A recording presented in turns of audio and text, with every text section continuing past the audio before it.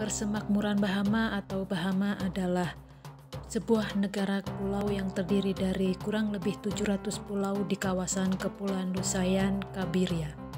Ini men menempati 97% dari luas daratan Kepulauan Lusayan yang merupakan rumah bagi 88 populasi kepulauan. Bahama yang terletak di Samudra Atlantik memiliki populasi kurang dari 4000 516 jiwa.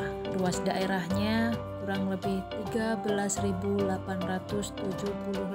km persegi. Ibu kotanya adalah Nassau di Pulau New Providence. Angkatan Pertahanan Kerajaan Bahama menggambarkan wilayah Bahama yang meliputi 470.000 km persegi. Bendera Bahama ini dipakai oleh pemerintahan sejak tanggal 10 Juli 1973. Segi hitam di kiri melambangkan persatuan rakyat Bahama yang kebanyakan keturunan Afrika. Warna biru Tosca melambangkan laut dan warna emas melambangkan matahari. Lambang negara Bahama berisi perisai dengan simbol nasional sebagai titik fokusnya. Perisai ini didukung oleh marlin dan flamingo. Di Bahama, iklimnya bersifat subtropis sampai tropis dan secara signifikan diselai-selai dengan air aliran teluk khususnya pada musim dingin. Sebaliknya, ini terbukti berbahaya di musim panas dan gugur, sedangkan topan mengalir dekat atau melalui kepulauan itu. Dan bahasa resminya adalah bahasa Inggris. Sedangkan Mata uang Bahama adalah dolar Bahama.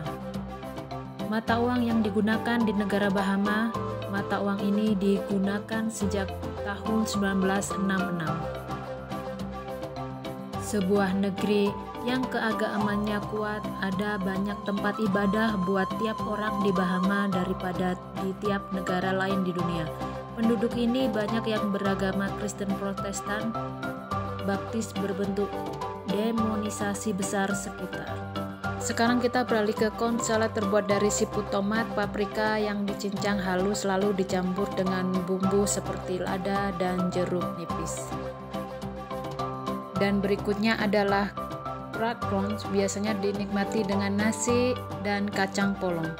Crackrons sendiri terbuat dari daging siput yang dilapisi adonan tepung roti lalu digoreng. Dan sekarang kita lanjut ke ikan rebus Bahama yang merupakan makanan tradisional khas Bahama yang terkenal akan kelezatannya. Makanan ini terdiri dari ikan putih bersisik lembut yang dipasangkan dengan kentang, jeruk nipis, dan rempah-rempah. Dan berikutnya chicken sauce terbuat dari potongan ayam, kentang, paprika, bawang, jus jeruk nipis, rempah, dan mentega. Hidangan ini dapat dinikmati dengan nasi, roti, maupun sup jagung. Island banana bread terbuat dari pisang tumbuk, mentega, tepung, telur, susu, dan kelapa parut. Roti pisang ini diberi kacang madamia panggang sebagai toppingnya. Dan dauf merupakan dessert manis dengan isian buah. Guava atau jambu biji merupakan salah satu buah populer untuk dauf ini. Kreasi yang satu ini bernama guava dauf.